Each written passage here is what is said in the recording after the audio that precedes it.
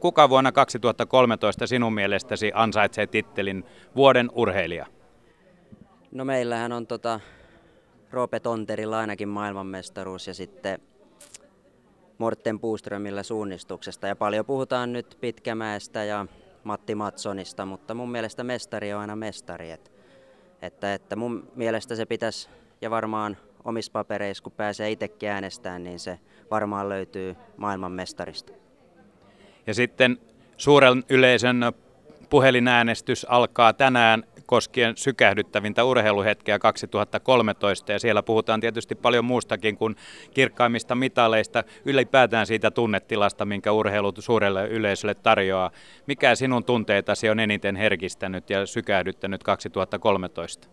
No tähän on ihan selkeä vastaus, että tuota, katoin alusta loppuun, tietokoneen ruudulta taisi vielä olla, niin Matti Matsonin uinnin ja muistan, kun se viimeinen, viimeinen 20 metriä huudettiin kaverin kanssa koko ajan, että anna poika mennä nyt ja sehän antoi ja pronssia tuli. Et se on jäänyt mulle kyllä ihan ehdottomasti päällimmäisenä mieleen.